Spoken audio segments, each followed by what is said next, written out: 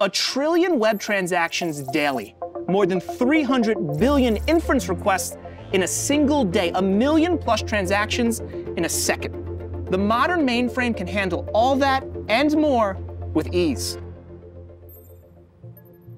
Welcome to AI Academy. I'm Lou Folia, a writer and journalist, and I'm here with Christian Jacobi, IBM Fellow and CTO of Systems Development at IBM.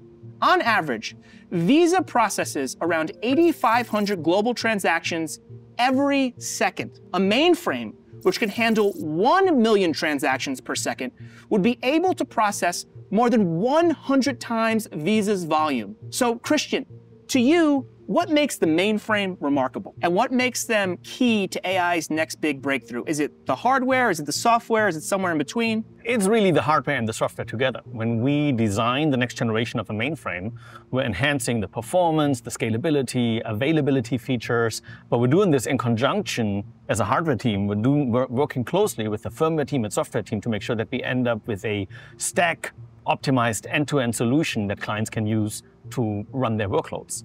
IBM has been thinking about AI on mainframes for, for a long time now, right? This isn't something we've, we've recently come 10 years at least. And the IBM Telum processor includes an on-chip AI accelerator. Why is that important, having the accelerator on chip? And how does it enhance AI performance? Yeah. As you're running workloads on the processor, of course, a lot of the data resides within the chip. And within the chip, we can communicate between different components of the chip, literally in nanoseconds, right? Nanoseconds is a tiny sliver of time, of course. Versus if you go off chip and go to a separate card, you're talking microseconds. And if you go to a different system, you might be talking milliseconds, right? And so by putting AI acceleration directly onto the processor chip, we could achieve the lowest possible latency for some of those traditional models. And then now with the Spyre uh, acceleration card that goes into the I.O. subsystem, we can run generative AI also with very low latency without needing to cross system boundaries and go into a separate system. It, it matters how big that slice of the second is. It matters big time. Absolutely. When, when you're running millions of transactions every second and the um, the latency requirements from a business perspective is that transactions need to finish within a handful of milliseconds, then you really don't want to waste milliseconds and traveling the data between here and some other system for AI inferencing. Let's drill in on that a little bit. So what makes mainframes so pivotal for AI? Their, their hardware capabilities, their software capabilities, what is it that sort of makes it perfectly suited for AI? Yeah, so clients are running mission critical central workloads for their corporations, right? They run the central ledger of a bank or they run insurance claims processing on mainframes. That's where a lot of the data resides. That's where the transactions get processed.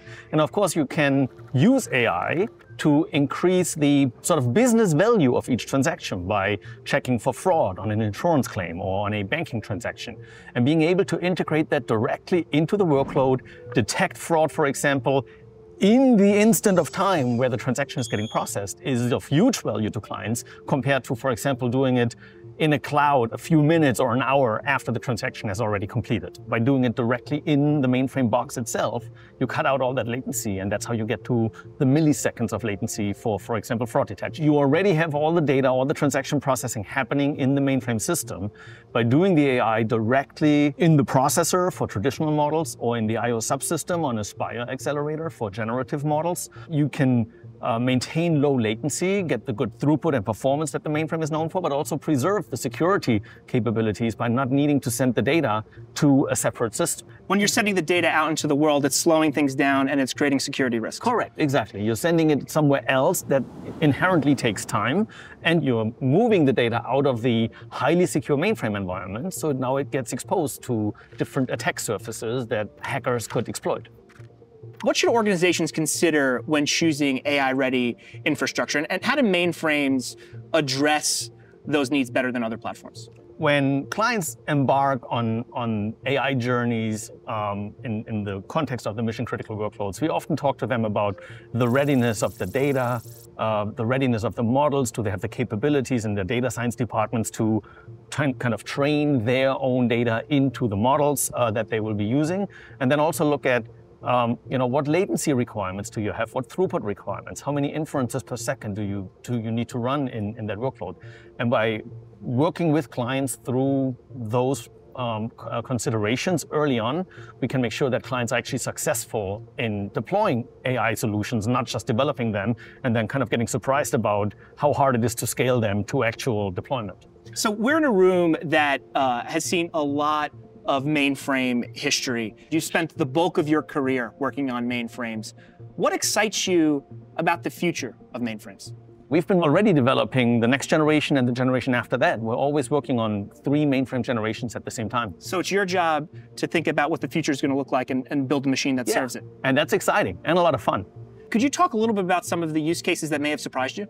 Yeah, I'll give you an example. Um, there's one client who's uh, actually using mainframes to analyze imagery of seagrass, uh, satellite images. And like they, seagrass, like on the beach seagrass? Yes, yeah. yeah. And they they see beach grass dying in certain areas, and they use that uh, information that they obtain from the AI models to then do uh, ecological measures to, to protect more of the seagrass. So when you start designing something, and then you see where it goes, like protecting seagrass, like, like how cool is that for you to see the expanse? Super exciting. Like we have, when we design the hardware and the software, we have use cases in mind that we're optimizing for.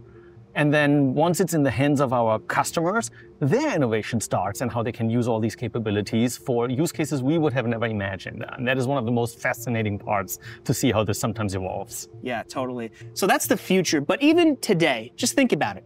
Every time you pay using a credit card, withdraw cash from an ATM, make reservations with any airline, file your taxes, or access your medical records, or basically do a thousand other things, it's likely you are being served by a mainframe. Now, imagine a day without mainframes. Mainframes are without a doubt integral to enterprise IT. And today, with new integrations and enhancements, they are redefining their role in modern IT. So, to answer the question we started with, what makes the mainframe unique? It's the hardware and the software and everything in between. It's how the end-to-end -end stack is optimized from the silicon up for mission critical workloads. And I think that we could both agree that that's what makes the mainframe so remarkable. And that's what makes it great for AI.